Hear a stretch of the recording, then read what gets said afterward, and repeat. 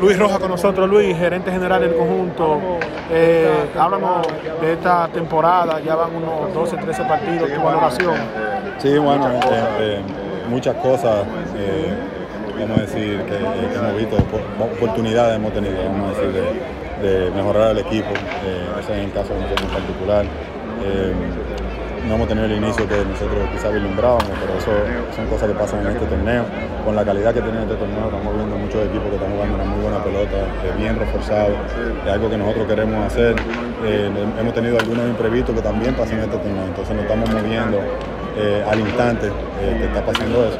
Y estoy viendo muchas cosas algunos muchachos que se han, recibido la oportunidad, en un caso en particular el de Sandro eh, Fabián, era quizá uno de los muchachos que nosotros no teníamos planes que íbamos a estar en los tres teniendo a Lier Hernández, a Jimmy Paredes y a Pierre O'Brien, pero con la lesión de Lier Hernández, Sandro Fabián resurge y está ahí teniendo quizá uno de los mejores números ofensivos que tenemos en el equipo. Así que son cosas buenas, hemos tenido oportunidad de darle chance a, algunos muchachos que queríamos que nos enseñaran eh, de qué forma podían ayudar al conjunto y ahí tenemos un ejemplo. Y hay otras cositas por ahí que son buenas, pero eh, ante eso estamos todavía trabajando con la dirigencia de mejorar el equipo. Varios años fuera de la pelota invernal y Stalin Castro. ¿Cómo se dio lo de Stalin Castro para que estuviera desde el inicio de la pretemporada?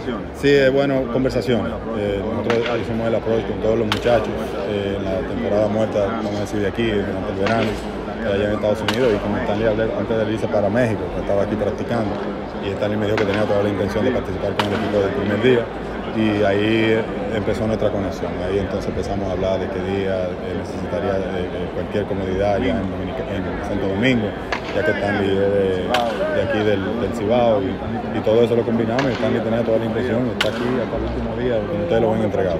Eh, nombre Franchi Cordero, vemos ya por ahí practicando Eri González.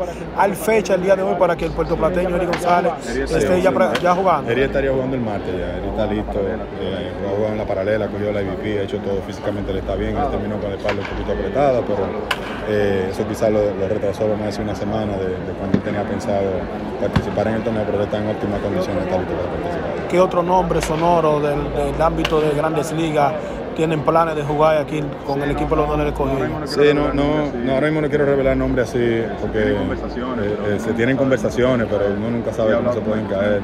Sí he hablado con Michael Franco mucho, si alguien queremos eh, eh, tirar, yo hablé con Wander Franco en Estados Unidos, pero ahora mismo no sé cuáles son, dónde él está, cuáles son sus intenciones. Hablé con José Marmolejo, que lo mencioné eh, ahorita en una entrevista, él estaría a fin de mes, que cree que podría estar accionando con el escogido. Y Franchi el 20, Otto López eh, dice que como el 15 de noviembre. Esas son las figuras que nosotros tenemos en ese orden, ya para este mes de noviembre. Ya otras cosas serían una sorpresa. Eh, para nosotros. Eh, Gregory Polanco no podido hablar con él.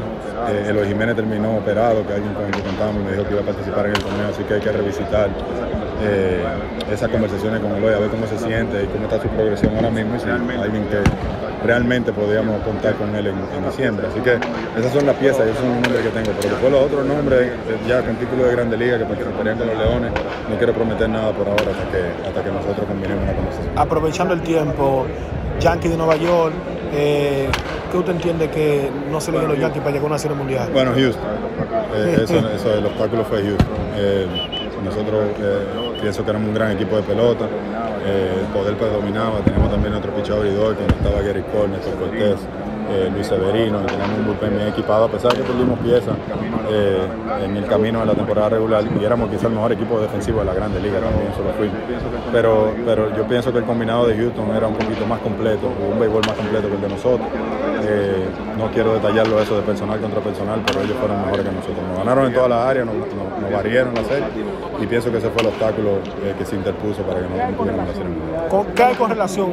Se han dado a conocer los últimos días que su nombre estuvo barajado para el equipo de los Marines de Miami. Sí, sí, tuve un proceso de entrevista con ellos eh, hasta el final y, y bueno, como, como, este yo creo que es mi tercer proceso de entrevista que estoy para, para dirigente de Grandes Ligas, pero fue algo de verdad muy eh, profesional de parte de ellos, hablando con su gerente general eh, y con sus dueños, pero todo, todo muy bien. O sea, muy, la, la, organización se ve con muy buen futuro, tiene un muy buen plan, tiene una muy buena intención y de verdad que para mí fue nuevamente un honor que me incluyeran en el proceso de entrevista y me consideraran como un posible dirigente. Gracias Luis por haber compartido con nosotros éxito.